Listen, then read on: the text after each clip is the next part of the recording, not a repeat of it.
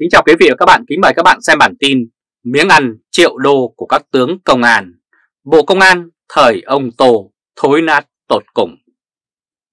Vào ngày 18 tháng 2 vừa qua, ông Đinh Văn Nơi cho Công an Quảng Ninh tóm Thiếu tướng Đỗ Hữu Ca vì tội chạy án.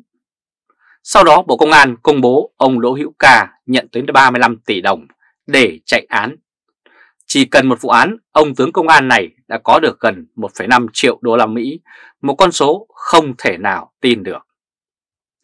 Theo thông tin mật mà chúng tôi nhận được từ giới quan chức giấu tên cung cấp rằng dưới thời ông Tô Lâm, mỗi suất giám đốc công an tỉnh, thành phố là 30 tỷ đồng. Con số này ban đầu chúng tôi ngờ là thổi phồng, nhưng người cung cấp xác định đấy là con số trung bình, không phải là con số cao nhất.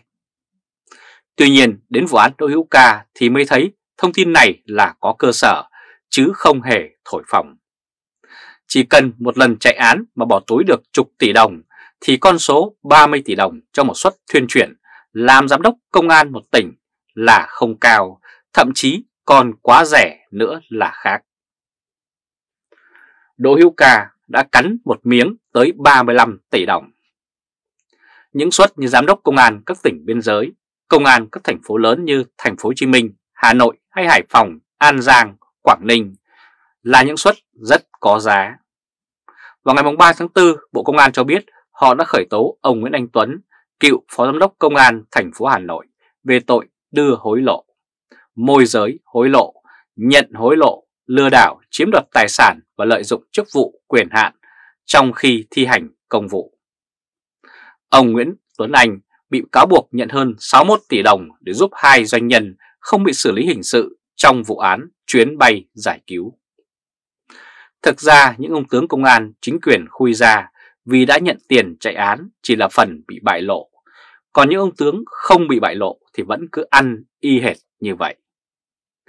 Lính có nhà nước nuôi, tướng công an chỉ cần nhận tiền để chạy án rồi chia lại một chút cho lính, còn lại mình hưởng cả. Thực sự với tiếng công an thì quả thật là giàu không khó. Cựu Phó Giám đốc Công an Hà Nội cạp một miếng lên tới 61 tỷ đồng.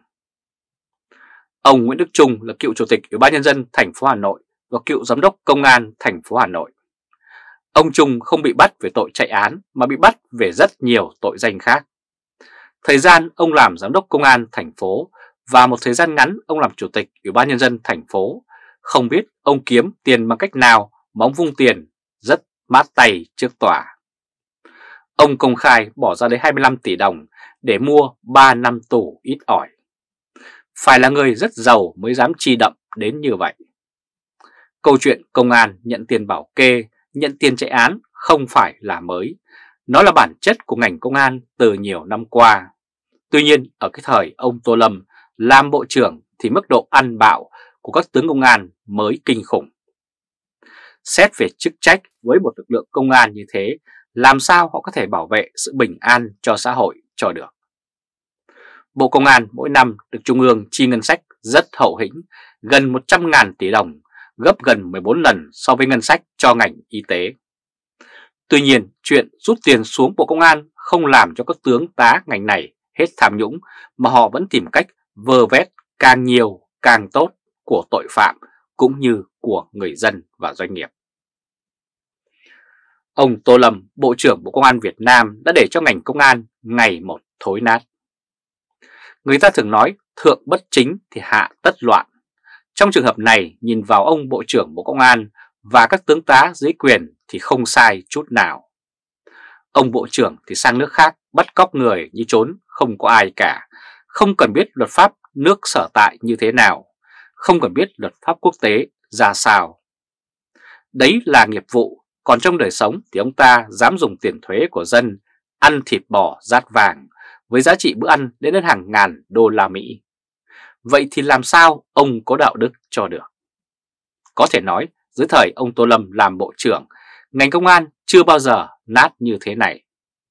Với vị trí giám đốc công an tỉnh, thành phố mà người ta còn cắn mỗi miếng đến hàng triệu đô, thì xã hội này còn lại gì đây? Quý vị và các bạn vừa theo dõi chương trình truyền hình trực tiếp của Lê Trung Khoa, Thời báo chấm với bản tin miếng ăn triệu đô của các tướng công an, Bộ Công an thời ông Tô thối nát tột cùng. Quý vị và các bạn hãy chia sẻ video này cho nhiều người biết và bấm nút theo dõi YouTube và Facebook của Thời báo chấm để luôn được cập nhật những bản tin mới nhất, nhanh nhất và trung thực nhất. Từ Berlin, Cộng hòa Liên bang Đức chào các bạn và hẹn gặp lại các bạn ở bản tin lần tới. Trung Khoa Thời báo chấm đề Kính chào quý vị và các bạn, kính mời các bạn xem bản tin So găng Trần Quốc Tỏ và Lương Tam Quang Ông Trần Quốc Tỏ là người Ninh Bình, là em trai của ông Trần Đại Quang, cố chủ tịch nước. Ông Lương Tam Quang quê ở Hưng Yên, cùng quê với ông Đại tướng Tô Lâm, Bộ trưởng Bộ Công an hiện nay. Cả hai ông Trần Quốc Tỏ và Lương Tam Quang đều là Thượng tướng, Thứ trưởng Bộ Công an. Điều đáng nói là hai ông này đều lên Thượng tướng cùng một ngày. Hiện nay, cả hai ông đều là Ủy viên Trung ương Đảng. Nói chung là cả hai đều đứng trước cơ hội vào Bộ Chính trị. Thực ra, khi ông Trần Quốc Tỏ nhận chức Thứ trưởng Bộ Công an vào năm 2020, ông ta chỉ có quân hàm thiếu tướng. Trong khi đó, ông Lương Tâm Quang đã mang quân hàm trung tướng. Ngược lại, ông Trần Quốc Tỏ là ủy viên Trung ương Đảng hai khóa gồm khóa 12 và khóa 13, trong khi đó ông Lương Tam Quang mới chỉ là ủy viên Trung ương Đảng của khóa 13. Ông Trần Quốc Tỏ, Thứ trưởng Thường trực của Bộ Công an Việt Nam hiện nay. Điều đáng nói là từ năm 2020 cho đến năm 2022, ông Trần Quốc Tỏ thăng hai cấp hàm tướng, trong khi đó để được thăng cấp hàm tướng không thể dưới 3 năm. Vậy là ông Trần Quốc Tỏ đã được thăng hàm vượt cấp. Điều này cho thấy đang có bàn tay từ bên trong muốn cơ cấu ông Trần Quốc Tỏ kế nhiệm ông Tô Lâm ở vị trí Bộ trưởng Bộ Công an. Còn nhớ vào tháng 8 năm 2002, tại kỳ họp thứ nhất Quốc hội khóa 11, ông Lê Hồng Anh được Quốc hội phê chuẩn giữ chức Bộ trưởng Bộ Công an. Trong khi đó, ông này không hề là người trưởng thành từ ngành công an. Ông cũng không hề mang bất kỳ cấp bậc quân hàm nào trước đó cho tới khi được bổ nhiệm. Tuy nhiên, đến ngày 9 tháng 1 năm 2005, ông Lê Hồng Anh được phong cấp hàm Đại tướng Công an Nhân dân một cách hết sức khó hiểu, như là cách để giúp ông này chiếm giữ vị trí đứng đầu của Bộ Công an. Đây rõ ràng là sự tranh giành lộ liễu giữa các phe cánh trong đảng để chiếm giữ Bộ Công an mang tính quyết định sức mạnh chính trị cho nhóm của mình. Trường hợp với ông Trần Quốc Tỏ tuy không lộ liễu như trường hợp ông Lê Hồng Anh, nhưng rõ ràng là trường hợp cơ cấu đang lên.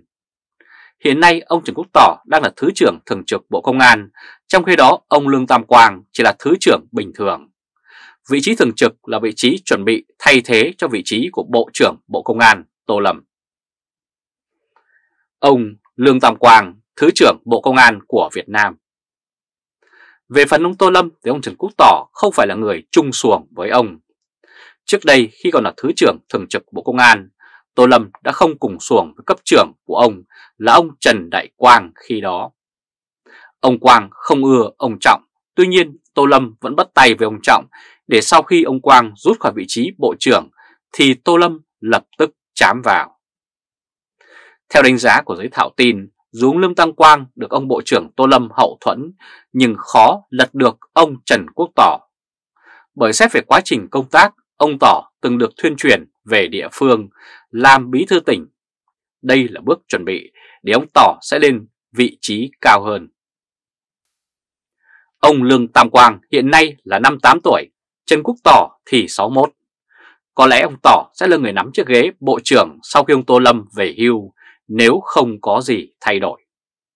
Trong Bộ Công an cũng lắm phe, lắm phái, các phe này cứ đan xen lẫn nhau, lúc này thì phe này thịnh, lúc khác thì phe khác lại nổi lên.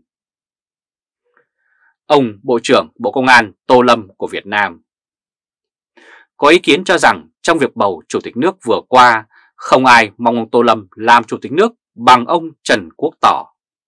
Bởi chỉ cần ông Tô Lâm rời khỏi chức ghế Bộ trưởng thế lực Trần Đại Quang sẽ trở lại ngoạn mục và rất có thể lúc đó Bộ Công an không được dễ bảo như hiện nay đối với ông Nguyễn Phú Trọng.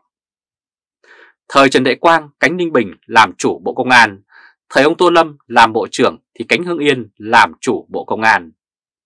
Trong thời gian làm Bộ trưởng, ông Tô Lâm đã nâng đỡ đồng hương của ông rất nhiều, trong đó có Lương Tam Quang và Nguyễn Duy Ngọc. Xem ra, Ông Tô Lâm đã nâng đỡ thế hệ sau của Hưng Yên nhưng không kịp để tiếp quản bởi cả Lương Tam Quang và Nguyễn Duy Ngọc còn thiếu lực khá nhiều. Quý vị và các bạn vừa theo dõi chương trình truyền hình trực tiếp của Lê Trung Khoa, Thời báo chấm với bản tin So Găng, Trần Quốc Tỏ và Lương Tam Quang.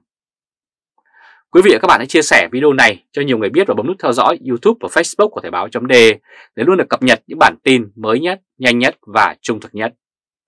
Từ Berlin, Cộng hòa Liên bang Đức chào các bạn và hẹn gặp lại các bạn ở bản tin lần tới. Trung Khoa, Thời báo, chấm đề